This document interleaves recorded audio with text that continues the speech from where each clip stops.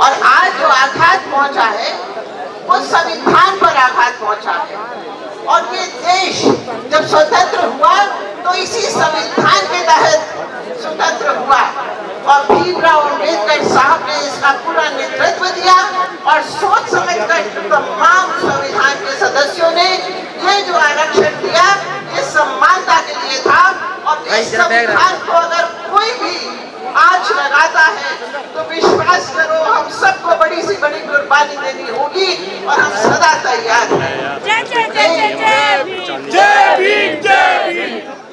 मैं भी विश्वविद्यालय से जुड़ी रही हूँ और आज भी जुड़ी हूँ और हमने कभी सोचा नहीं था किसके साथ कोई खिलवाड़ करेगा किसी की हिम्मत होगी।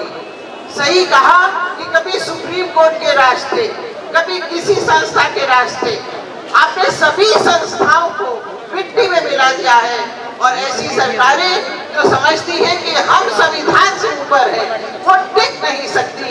इस देश में सोचने वाले लोग हैं, बुद्धिजीवी हैं, और हटा देने वाले लोग भी उतनी ही हिम्मत करते हैं जितने की कुचलने वालों से कहीं ज़्यादा। मेरे साथियों, संघर्ष के साथियों, आप बहुत देर को उठा रहे हैं। आए दिन मैं देखती हूँ कि आप लोगों ने ये मुद्दा उठाया हुआ है और आपने पूरे भारत वर्ष में इसका जो ढिंडोरा पीटा है, मैं आपको सच बताऊँ ये ये जो न्यूटन ने रोज रोज इस मुद्दे को उठाया है, उसमें कुछ लोग कहने लगे कि अब क्या यूनिवर्सिटी में और कोई काम नहीं होगा। ये यूनिवर्सिटी के टीचर आने वाली सदियों के लिए ज़मीन बना रहे हैं उसको रोनने नहीं देंगे ये हम सबको जवाब देते हैं कि हो क्या रहा है। तो ज़्यादा न कहते हुए ये जो रोस्टर है, इस रोस्टर को कितने तरीके से खत्म करने की इस तमाम जो हमारे जो हमारे भाई हैं, जिनको हमने कभी किसी समाज में कमज़ोर किया है, वो कमज़ोर पैदा नहीं हुए थे, आज उनके उस पूरे कदम को वापस लाना चाहते हैं, ये कभी इस सदी में होने नहीं देंगे।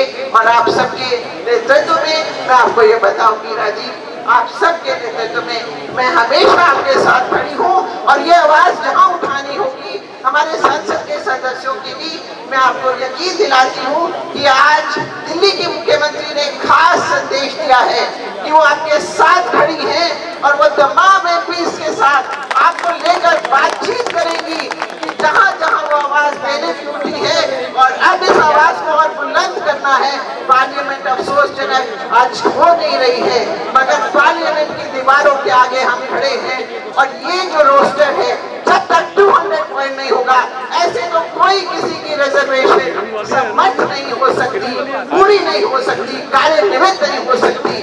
तो चाहे वो हमारे जंगलों में रहने वाले आदिवासी हो, गरीब किसान हो, शोषित वर्ग हो, संविधान से सुरक्षित जिनके अधिकार हो, आज हर पूरे समाज को जो दो भागों में बांटा जा रहा है एक निम्न वर्ग एक पूंजीपति वर्ग जो देश से बाहर भाग रहा है और एक हम सब हम अपने अधिकार के लड़ेंगे बहुत बहुत धन्यवाद। आखिर तक लड़ेंगे ये आपको विश्वास है।